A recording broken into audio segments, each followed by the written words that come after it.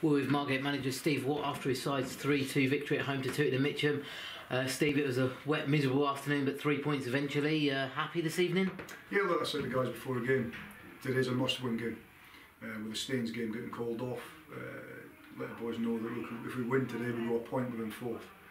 Um, that's regardless of what any other results happen, and obviously Hendon drew, which, which was a good result for us also. But um, now asked the boys to win today, not all costs. Obviously, got off to the worst possible start, but the character of the boys to come back in the game and get and get comfortable in front was fantastic. And then look, it's another sloppy goal concede, and we make it a little bit more difficult for ourselves than what we should. But this boys knows that knows how to win games of football, and that's we've got to give the boys massive credit again. I think that was our 40th game of the season, I believe, which is incredible. We're Not even end of January, and um, there's some tired bodies out there. But again, they've gone out there, they've given their all and most importantly, they've got three points for football club. You talk about character, Steve. Uh, Lenny Pidgeley returned to the first team today, and um, would be disappointed to have let that goal in in the first minute. But he uh, he done well, didn't he? After that, and uh, you, you're happy to have him back in the squad. Massively. Look, he's he probably he came in and he should have done better with both goals. Um, an honest keeper, an honest lad. Um, I think he's been fantastic for football club this season. And um, I said to him for at half time, I said, you haven't put a foot wrong in every game you played so far. Don't worry about that go and just go and do what you do. And I just think having his presence back in there helped today. Um, I thought he did. Obviously, he can do better with goals. I don't need to tell him that. He knows that.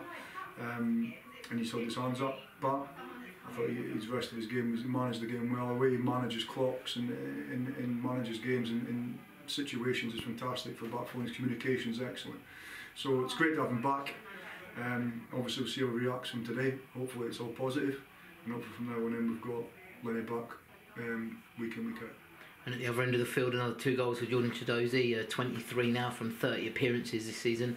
Um, he's been electric, hasn't he? Yeah, look, that's why I bought the football club.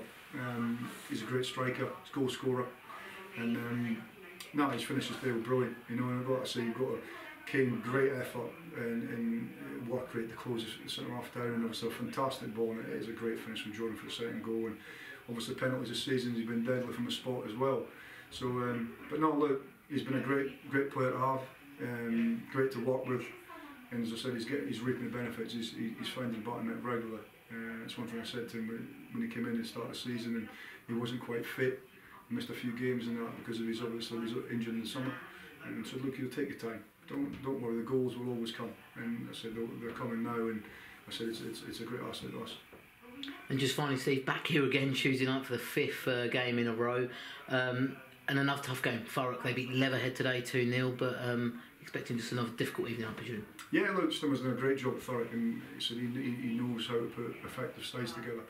And it's, uh, I remember playing the first game of the season and said, look, these guys will be, there'll be no pushover this season. And, and he's, he's proven me right. And um, they've had a fantastic result today. And we'll come down here Tuesday full of confidence, and it'll be a, it'll be a tough game. We've got to approach it right. We've got to um, make it a little bit more difficult. We made it today at times. But as I always say, I think when opposite managers and other dressing rooms are looking at our side, they're worrying a lot about how to stop certain things. So I always say to the boys, if we turn up, if we play our game and execute our game plan correctly, we'll win most games. And uh, as I said today, we didn't start off right, but we got going, got back in front, and was able to see it out in the end. That's brilliant. Uh, well done today, Steve.